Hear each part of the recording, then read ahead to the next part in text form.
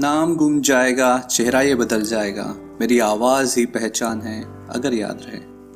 सुरों की देवी लता मंगेशकर, हिंदुस्तान की सबसे सुरीली आवाज़, भारत रत्न। लता मंगेशकर, जिन्हें हम प्यार से लता दीदी कहते हैं। जन्म 28 सितंबर उन्नीस सौ उनतीस में इंदौर में हुआ। इनके पिता स्वर्गीय दीनानाथ मंगेशकर खुद ही एक जानी मानी हस्ती थे। नाटक हो या संगीत, दोनों में ही इन्होंने अपना एक अलग मुकाम बना रखा था। ये किस्सा मशहूर रहा कि शुरू में लता मंगेशकर को संगीत नहीं सिखाया जा रहा था। उनके बाबा दीनानाथ मंगेशकर के बहुत से शिष्य थे। एक मर्तबा हुआ यूँ कि उनका एक शिष्य गलत गाना गा रहा था। अपने पापा की गैर हाजिरी में नन्नी लता ने उस बच्चे को ठीक करना शुरू कर दिया और बताया, ये राग ऐसे नहीं, ऐसे गाया जाता है।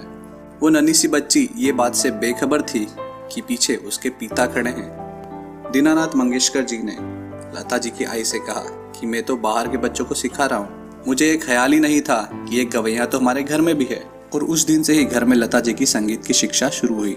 बहुत छोटी उम्र में ही लता जी ने अपने पिता के साथ स्टेज पर परफॉर्म करती थी।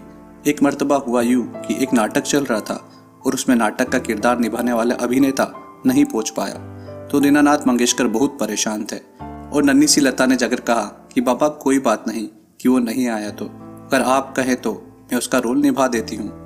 दीनानाथ मंगेशकर को जरा अजीब लगा और कहा, कहाँ तू इतनी छोटी सी है और स्टेज पर तू मेरे साथ गाना गाएगी? अजीब सा लगेगा। पर लता जी ने कहा, बाबा देखना मैं वंस मोर लेकर आऊँगी। एक अवसर तो दे, कोई चारा भी नहीं है। वो अभिनेता और गायक अभी तक आया तो नहीं है। और इस तरह से लता जी ने अपने बाबा के साथ परफॉर्म किया और यकीनन वंस मोर आया। लता जी की आवाज़ ने फ़िल्म जगत में बहुत धूम मचाई। पर इस मुकाम तक पहुँचने से पहले लता जी की ज़िंदगी में अजब उतार चढ़ाव रहे। बचपन में ही इनके पिता दीनानाथ मंगेशकर जी, जो कि खुद एक बहुत बड़े ज्योतिष के ज्ञाता थे, उन्होंने लता जी से कहा कि, देख बेटी, तू आगे जाकर इतनी सफल होगी, जिसकी कोई कल्पना भी नहीं कर सकता। लेकिन उस सफलता को देखने के लिए मैं नहीं रहूँगा। और हाँ तेरी शादी भी नहीं होगी। पूरे परिवार की ज़िम्मेदारी भी तुझ पर ही रहेगी। नन्ही सी लता उस समय समझ नहीं पाई कि उसके बाबा बहुत जल्दी जाने वाले हैं। और ठीक वैसा ही हुआ। दीनानाथ मंगेशकर का स्वर्गवास हो गया। पूरी ज़िम्मेदारी लता मंगेशकर के कंधों पर आई और स्टेज के साथ साथ उन्होंने फ़िल्मों में भी छोटे मोटे किरदार निभाना शुरू कर दिया। मास्टर विनायक की कंपनी में ये काम किया करती थी। वही मास्टर विनायक जिनकी बेटी नंदा आगे जाकर बड़ी ज़बरदस्त अभिनेत्री बनी। लता मंगेशकर को यह बिल्कुल भी पसंद नहीं था कि वो एक्टिंग करें और एक मर्तबा वो शूटिंग से लौटी और घर आकर फुट फुट के रोने लगी। जानती थी कि छोटे भाई बहनों की ज़िम्मेदारी उन पर ही है।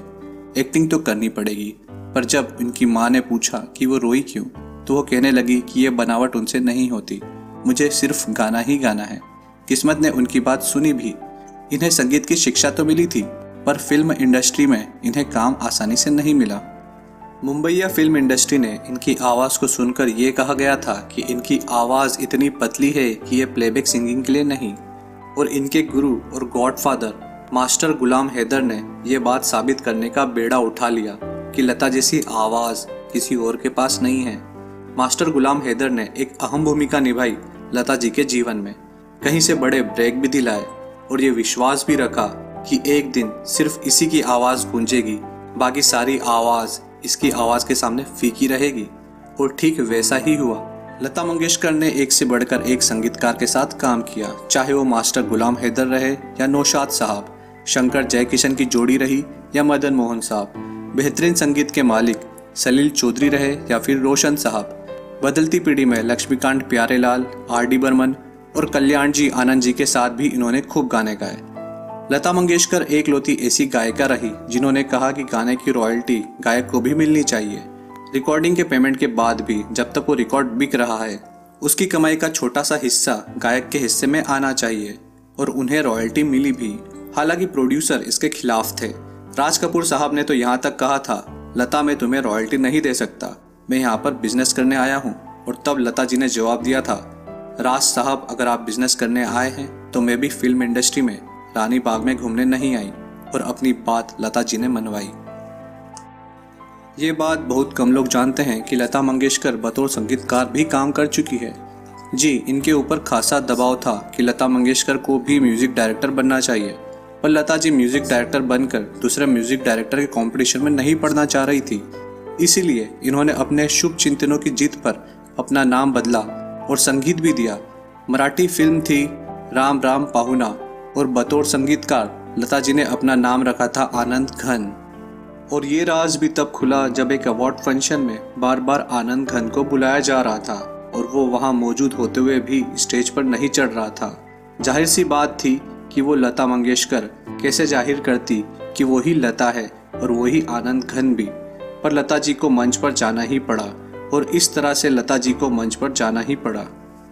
ये बात भी आगे जाकर पता चली, जब लता मंगेशकर एक अलग मुकाम हासिल कर चुकी थी, तब इनकी तबीयत अचानक खराब हो गई थी। मौत के मुँह से इन्हें बाहर निकाला गया था और डॉक्टर ने इन्हें बोला था कि कोई आपको धीमा जहर दे रहा था। और वो डॉक्टर सही था, इनका एक रसोईया इन्हें हर रोज धीमा जहर दिया करता था। जिसकी वजह से लता जी की जान भी जा सकती थी। पर इनके बीमार पड़ते ही वो रसोईया भाग गया। अवार्ड्स के मामले में लता जी ने कीर्तिमान स्थापित किए, चाहे वो पद्म भूषण रहा हो, या पद्म विभूषण या फिर भारत का सर्वोच्च सम्मान, भारत रत्न। जहाँ तक फ़िल्म फेयर अवार्ड्स की बात आती है तो लता मंगेशकर जी ने फैसला किया था कि अब नए गायक गायिकाओं को मौका मिलना चाहिए। इसलिए एक वक्त के बाद इन्होंने अवार्ड्स लेने से इनकार कर दिया था। जब हिंदुस्तान और चाइना का युद्ध हुआ तो बहुत से सैनिक शहीद हुए। तब लता मंगेशकर जी ने अपनी आवाज़ में गाना गाया ए मेरे वतन के लोगों, जरा आँख में भर लो पानी। इसे सुन तत्काल प्रधानमंत्री पंडित जवाहरलाल नेहरू रो पड़े थे। ये बात भी मशहूर रही है कि लता मंगेशकर एक लोती ऐसी गायिका है, जो गाने के शब्द सुनकर ही उस गाने को रिकॉर्ड करती है।